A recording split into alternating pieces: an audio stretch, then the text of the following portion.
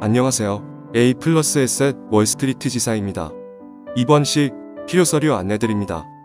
진료비 영수증, 약제비 영수증, 진료비 세부 내역서, 진단서가 필요합니다. 여기서 영수증은 단순 카드 결제 영수증이 아닌 의료기관에서 발급받은 서류를 의미하고 진단서 또는 입퇴원 확인서에는 진단명, 질병분류 코드, 입원 기간 등이 명시돼 있어야 합니다. 이외에도 보험사의 요청에 따라 추가 보완 서류가 필요할 수 있다는 점 양해 바랍니다. 준비된 서류는 팩스 혹은 우편으로 보내주시거나 스캔하신 후 카톡이나 이메일로 보내주시면 검토 후 서류 접수 도와드리겠습니다. 빠른 회유를 바라며 여러분의 편의를 위해 늘 힘쓰겠습니다.